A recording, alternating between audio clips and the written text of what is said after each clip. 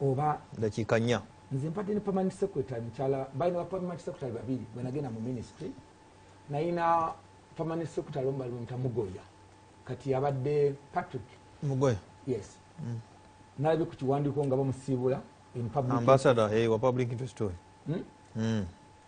nala nalina permanent secretary dorin katusiime yakyaliyo era yava mu ministry of education najja.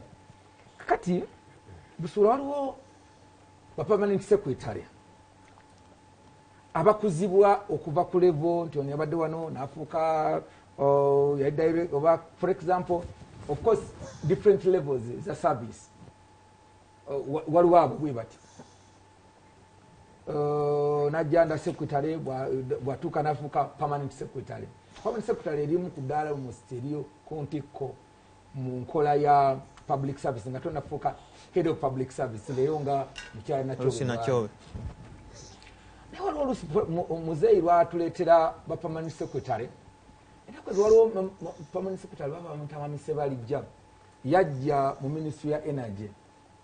Ndowooza aweza emyezi nga mukaaga ne bamugjako waliwo that kind of okujja obuzi lwomushana otukubiddeyo ekikopo gwe permanent secretary. Kati problem oluusi ebeeramu mu bantu bwe batyo babeera so political. Babeera political ne batakola mulimu era ebiseera ebisinga osanga permanent secretary ng'akuubagana ne minisita minisita akola permanent secretary because i wonder how can a permanent secretary make a press conference?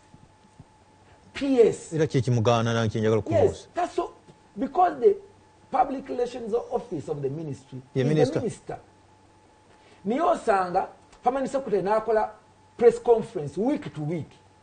A ps era era ministry ezo ebiseera ebisinga osanga nti ozisangamu kuubagana wakati wa permanent secretary ne minister. Kubanga permanent secretary yajjanga political appointee. Yes is a political appointee but parliament secretary azze nga ajja agenda alinnya mitendera nava ku kino nagenda ku kino nava wano nafuuka kino nava wano. Natuuka ku level nti ah, kati level eno gyatuuseeko you can now be a permanent secretary.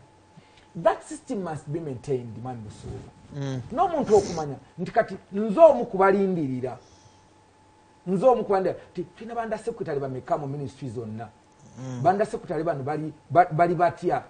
Cv zaabwe ziriwa before the president the appointing authority naye bwe tuba tunulamu bameka bagenda okusomesebwa okuva ku leve eno okugenda ku eno. But to me having a permanent secretary naga from nowhere tabeera nkona mu public service naga nti the next day we permanent secretary. Kino kirinamuko because to me as a minister nze bwe mbeera nga minister nga kiwanda because that is just a politician. I can always go nemba guided and i move on. But a permanent secretary um, kyendowoozaamu nti its very important okwongera okutula omuntu ono. Ensonga zino abadde azikwata atya? Bwe yali director bwe yali commissioner bwe yali director bweba kuba director n'agenda maybe kuba under secretary bwaba ku under secretary agituusa atya kuba ps ensonga zino azikuta its very important. Level ezo okugenda ngaomuntu agenda azitambulamu ng'agenda alinnya. So uh, i wish all the permanent secretaries abazze okuba nti bajja kukola omulimu. Uh, waliwo abantu amu aba bagaininze experience nga mwami senyonyi abadde ayogera ku mwami adolf mwesige mwami adolf mwesige naye naye mu palamenti ey'omusanvu palamenti eyo yagimalako nga tafuuse minisita ndoza mu palamenti y'omunaane baleka bamufuula minisita wa general duties office of the, vice, office of the prime minister. Yali- yaliko okwo n'avaako efo bingi byabadde agenda jja paka lwatuuse ku minister of defense He was even deputy attorney general. he was even deputy attorney general, I think after Adolf, after uh, uh, Fred Ruhindi. yeyaddako yaddako kuba deputy attorney general. Very After fine lawyer. before? After, after, after Fred. Uh, very fine lawyer, faayo, um, agoberera amateeka n'ebirala bingi nnyo. Um, ekyokukakkanamuko nga ebiseera emu abantu baga nti naye okuba ku kifo ky'obwa minisita because the minister first of all even in the protocol of the country kwanga abadde senior minister he's, he's like number six of the country muproto I, I think about number nine mu protocol eyo olwaleero of course P, uh, um, uh, clerk parliament is a civil servant ali wansi wa parliament waba member of parliament. Mwami senyonyi wa- bamwami zaake bamwami segirinya bebakama ba adolf mwesige But that's, that, that's not correct. yes It- that- that- that- that- when I was- Because temwina omusinkanira. The other one is a civil servant, technical wing. Yes. One in a parliamentary commission, hmm, who is the employer of the member of, of parliament. Then kati parliament muyina ebyammwe. You know there is people need to Kyokka tulina study. ebyaffe ebitali bibye okay No, no, kakati- you need to But study just read public, the law, you need it's to very study clear, public actually. administration. okay Olabye kakati tulina nabiro omukyana bwokakira. kyagamba there might be two lines nti this is civil service Yes. and this is politics so in, politi in ko- parliament olwaleero maybe kambuuze mi- mu- mu mu ministry minister political then uh, permanent secretary ani bosi wa munne minisita abeera So that ya- should ya- answer your question. yabeera minisita yabeera kuba wano tuli bangi oli be aba mukama political we. actors Ate Church- mwa- mwafiira nnyo mu bintu bya boss boss. mu no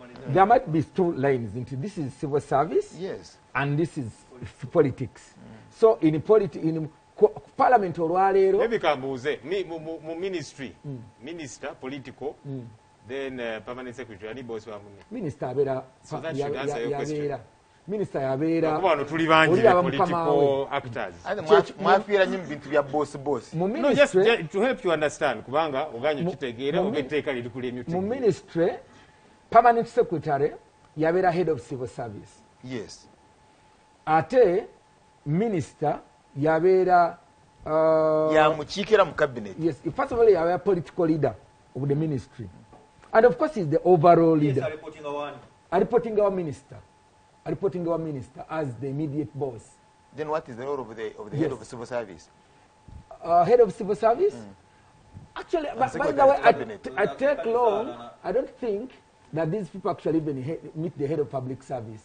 babeeranga bagira nnyo nze ndaba nnyo ps the best person gwasinga okukolagana naye gwasinga okukolagana is secretary the treasury. Because definitely these are people kuba the accounting officers. Aha. yes. Yes. Sec- uh, yes the secretary and the the accounting officers are appointed yes. by the secretary the treasury. Uh, so abantu bano basobola okubaako mulimu. Singa bakkiriza position ye nga bwabagitutte wano omuntu yenna obutalowooza nti waliwo mbadde ku leve eno banzisizza. That was the point i wanted to make on adolf mwesige adolf mwesige bw'anakkiriza n'agamba nti okay I've been a attorney general mbadde minister mbadde minister of defense mbadde kino mbadde kino. Now kino kyenkola olwaleero kikulu nnyo. Bw'obanga omaze okukikkiriza oga ti kati eyo position gy'olimu ojja kukikola n'omutima gwo gwonna.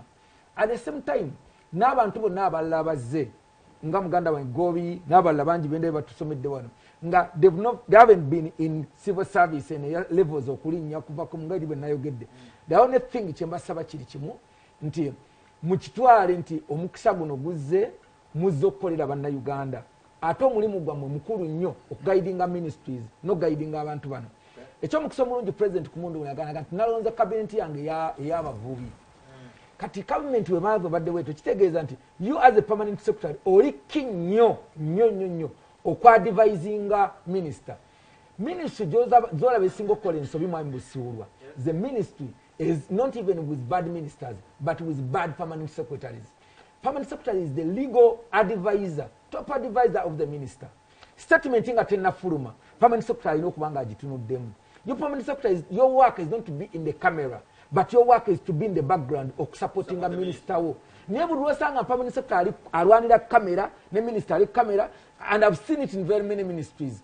That is where we mess up and the time was tosobola concentratinga ku muligo technically oyagala nawe kubeera political at the end of the day bannayuganda ne basigala nga tebafunye uganda revenue authority yakuleetedde kakasa atumbula bizinesi mu nkola eyo. Digital tracking otu- osunda ebintu n'okugula nga biriko stamp nga bikakase voluntary disclosure bwoba weeyabala emisolo namakona